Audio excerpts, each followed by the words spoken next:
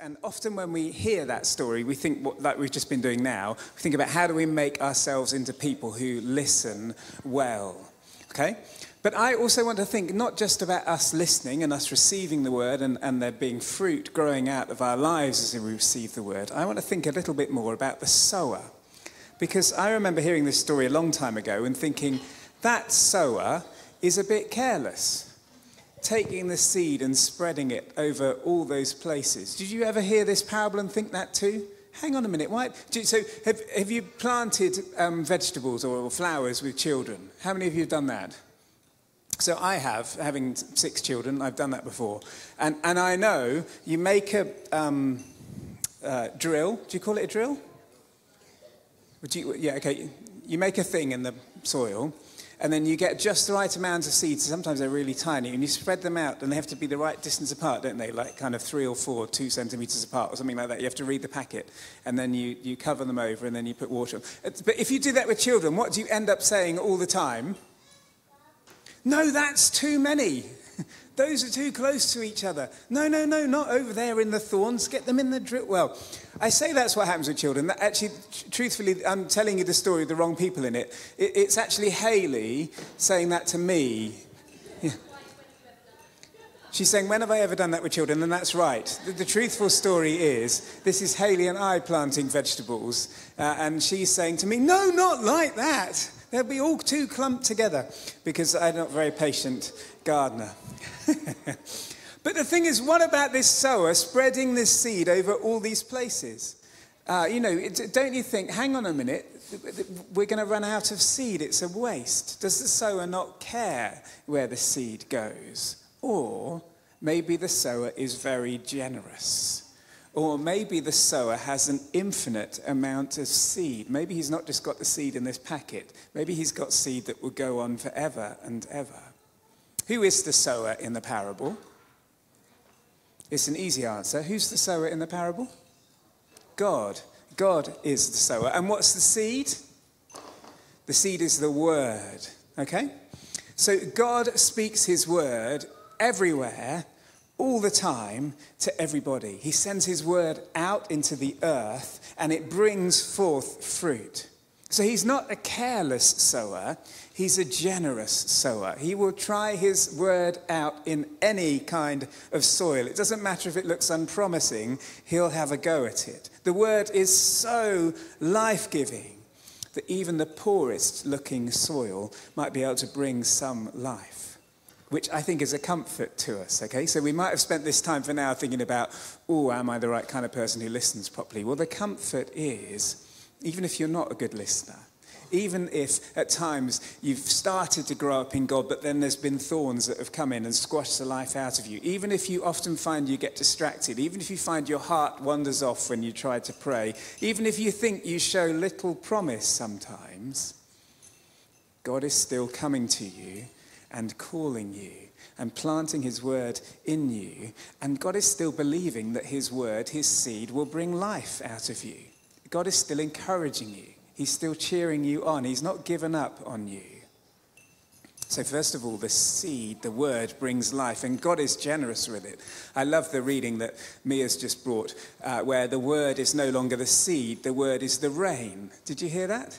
And I, and I think I actually prefer that idea even more because the rain really does fall everywhere, doesn't it? The rain doesn't just fall on the, fall on the soil, it also falls on the pavement and all those other places because that's what rain does. And um, in that reading there, God says, when, when the rain comes, it causes life to bud and flourish, bringing forth seed and bread from the earth. The word of God does not bring up nothing it always achieves and accomplishes what he wants it to do. God's word to you will bring life out of you. How many of you got grass at home? What's the grass been looking like until a couple of weeks ago? Pretty brown. Doesn't need mowing very much. What does the grass look like now? Yes, like that. It does. And why? Because it's had rain on it. Actually, it's had this special kind of Devon rain. When we moved down from Aberdeenshire, northeast of Scotland, 10 years ago, it was a whole new thing for us. I remember the children went out in the rain the first time. They're like, it's rain and it's warm rain, because they'd never experienced warm rain before. God's word is like the rain that falls on the land and brings forth life. It brings forth light and blessing. It brings forth out of our lives worship and praise and thanksgiving. It brings out of us justice and peace and righteousness and so on. So, so the, the danger with the parable of the sower is that we can end up with it out of balance. We can go away thinking, I need to do more to listen better. I need to do more to receive the word. I need to make fruit come out of me better. As if you could. Can you imagine an apple tree thinking, I need to make more apples? It doesn't happen, does it? So it's not about us putting in more effort, really, or it might be, but let's not get it out of balance. The, we do need to do those things. We do need to receive the word. But the greater point is God's word, God's seed, brings life out of us even when we don't show very much promise. God's word brings praise out of us and makes our lives sing, even if we've often messed it up. God is unlimited. His word is eternal, and He is calling His creation to life. He's calling to, to you fruit, bud, blossom. And he's bringing out of us and out of our world healing and righteousness and life. God's word is an infinite resource. There's no scarcity in God, there's always enough in God to make you fruitful. Is that good so far? So the sower is God, the seed and the rain are the word, and all of it will bring growth, and it might surprise you, the growth. One more thing. Who is the Word? Jesus is the Word. Okay? So when you think about receiving this uh, extravagant, infinite uh, word in your life that will make growth come out of you. It's not about trying to hear some distant message from the sky. It's not trying to decipher some cryptic thing that comes to you. The word is Jesus. It's about being close to Him. It's about getting to know Him. It's about learning His life. It's about maybe trying praying to Him. It's about giving your heart and your life to Him. Jesus is the Word of God, and He's always more than enough to bring good things out of our lives, even when we look like unpromising soil.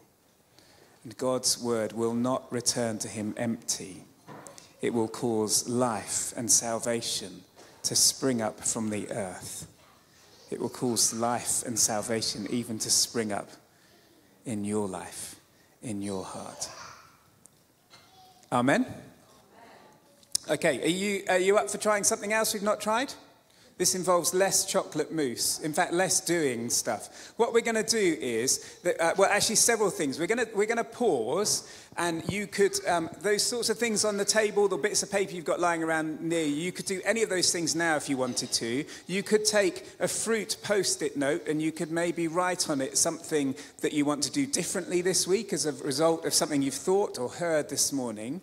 You could just sit and ask that the Holy Spirit would bring rain to you. The Holy Spirit would be rain falling upon you, causing you to grow.